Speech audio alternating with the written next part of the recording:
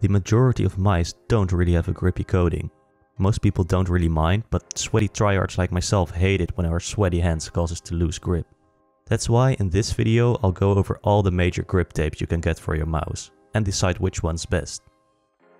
The grips I'll compare in this video are the Hotline V2, Lizard Skins, Bat version, BTL Gen 3 and the grips included in the box of the G Pro Superlight. In terms of looks, the stock Logitech grips are the most basic, they are black and have a very subtle pattern. The Hotline V2 are a bit more greyish and have a more defined pattern. The Lizard skins and the BTL grips are available in a variety of different colorways. The fit of all the grips were very good, except for the stock Logitech grips surprisingly enough. They were too small and they just make me mad whenever I look at them. They are super thin as well, which can be a good thing, but these slightly fold and there's nothing I can do about it. The lizard skin I got are the Bat grip version, which has these like bigger pores than the hockey version. Not sure which one would be better. They are 0.5 millimeters thick, which is thicker than the BTL at 0.4 and thinner than the Hotline V2s at 0.6. In terms of firmness, the BTL grips are so thin you don't feel any squish. The Hotlines are quite firm and the lizard skins are just a tiny bit squishy. Alright, now let's compare the grippiness of them all. I'm going to demonstrate this with a coin test to see how well the coin sticks to the tape. First let's show a mouse without any grip tape.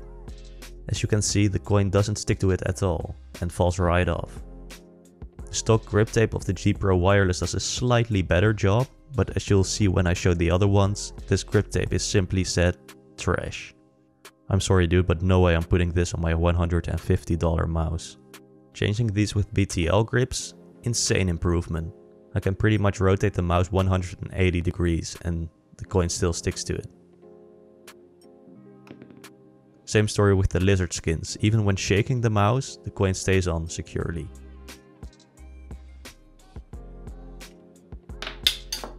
The hotlines don't do as well, but they're definitely better than the stock Logitech ones or no grips at all. Describing the feeling of them all, the stock Logitech ones feel like tape. I think they forgot the grip.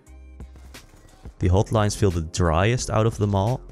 If you want to drag click or that type of shit, this one would probably be best. The lizard skins feel sort of more slimy, as it doesn't feel as dry but it grabs more onto your fingers. The BTL grips are sort of an in-between, not as slimy as the lizard skins and not as dry as the hotlines. My favorite out of all of these are the BTL grips. They offer the best balance of grippiness, dryness and they are nice and thin. You can't really go wrong with any of those though, in my opinion, apart from the Logitech stock grips. Oh and by the way, I bought all of mine from Itaktech and I fixed a discount for you guys, so use code pipi at checkout link in the description. Keep in mind that thicker grips like the bat version lizard skins and the hotlines do slightly change up the shape of the mouse. Even with BTL grips, the side buttons are harder to use. Holy shit dude, I only just noticed the BTL grips come with these things for the side buttons. I believe the lizard skins didn't, the hotlines did though. Anyways, hope this was helpful, don't forget to like and sub.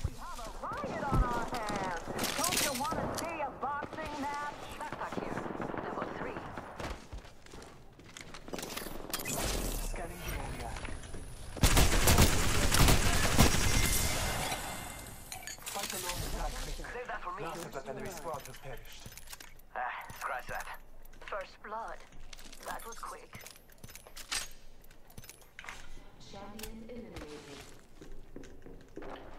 One near me. Making contact with enemy. Okay, okay, I go.